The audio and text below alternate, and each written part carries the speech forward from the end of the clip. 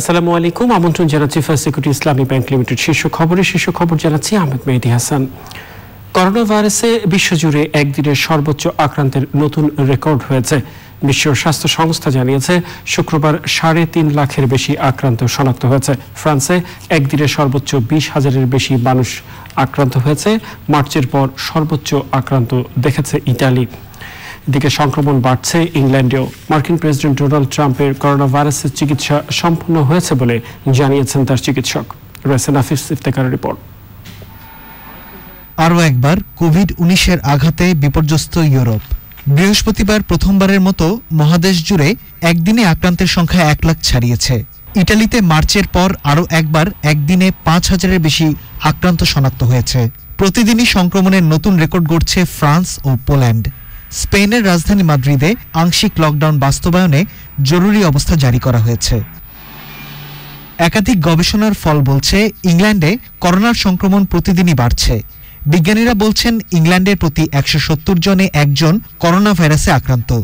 পরিস্থিতি মোকাবেলায় সোমবার থেকে নতুন বিধিনিষেধ জারি হতে পারে, যা বুধবার থেকে কার্যকর হতে পারে। ইউরোপের মতোই সংক্রমণের ঊর্ধ্বগতি দেখছে বাকি বিশ্ব। শুক্রবার প্রথমবার বিশ্বে একদিনে আক্রান্তের সংখ্যা সাড়ে তিন লাখ ছাড়ায়। বিশ্ব স্বাস্থ্য সংস্থা জানিয়েছে করোনার ভ্যাকসিন পেতে প্রথমে কিছুটা সময় লাগবে। তবে যেসব দেশ বিশ্ব স্বাস্থ্য সংস্থার উদ্যোগ কোভ্যাক্সের সদস্য তারা সহজেই ভ্যাকসিন পাবে. করোনা চিকিৎসা শেষে সুস্থ হয়ে উঠছেন মার্কিন প্রেসিডেন্ট ডোনাল্ড ট্রাম্প। পরবর্তী টেস্ট নেগেটিভ আসলে রোববার নাগাদই প্রচার কাজে ফিরবেন তিনি। Nafis Iftekhar channel I. মার্কিন প্রেসিডেন্ট নির্বাচনের দ্বিতীয় বিতর্ক বাতিল করা হয়েছে। আগামী বৃহস্পতিবার ওই বিতর্ক অনুষ্ঠিত হওয়ার কথা ছিল। আয়োজক the commission on presidential debates জানিয়েছে, ট্রাম্প ভার্চুয়াল অংশ নিতে রাজি না হওয়ায় বিতর্কটি বাতিল করা হয়েছে। তবে তৃতীয় বিতর্কটি নির্ধারিত সময় অনুষ্ঠিত হবে এবং দুই প্রার্থী তাতে অংশগ্রহণের সম্মতি দিয়েছেন। দুই প্রেসিডেন্ট প্রার্থী ডোনাল্ড ট্রাম্প ও জো বাইডেনের মধ্যে দ্বিতীয় বিতর্কের এই দিনক্ষণ আগেই ঠিক ছিল। তবে প্রথম বিতর্কের পর করোনায় আক্রান্ত হন ডোনাল্ড ট্রাম্প।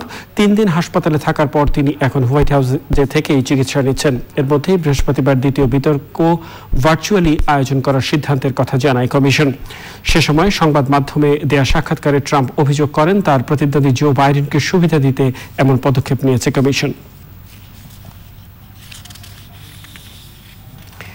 বিশিষ্ট রবীন্দ্র গবেষক ও শাহজাদপুর কলেজের সাবেক অধ্যাপক লেখক নাসিম উদ্দিন বালিথা মৃত্যুবরণ করেছেন।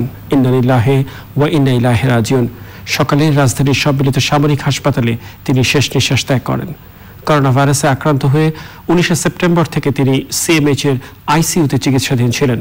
তার বয়স হয়েছিল চুয়াত্তর বছর। নাসিমুদ্দিন মালিথার লেখা বিভিন্ন বইয়ের মধ্যে রবীন্দ্রলোক, বাংলা বানান ও টুকিটাকি। বাংলা সাহিত্যের ইতিহাস পাঠের ভূমিকা, সাহিত্য ও সাহিত্যিক, আমারেই পাবে তুমি ইহাদের ভিড়ে ও বুকের ভেতর, পোষা পাখি উল্লেখযোগ্য।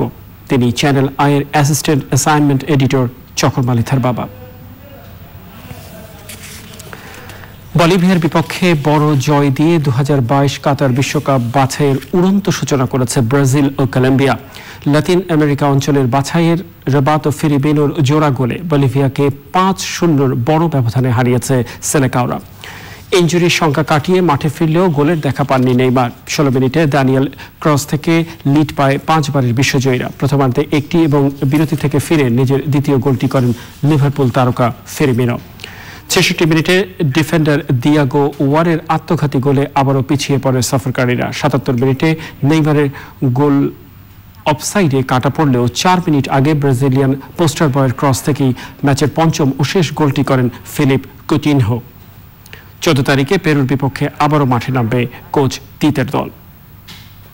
প্রিয় দর্শক, এই ছিল আমাদের হাতে থাকা শীর্ষ খবর। ধন্যবাদ সবাইকে এতক্ষণ আমাদের সাথে থাকার জন্য।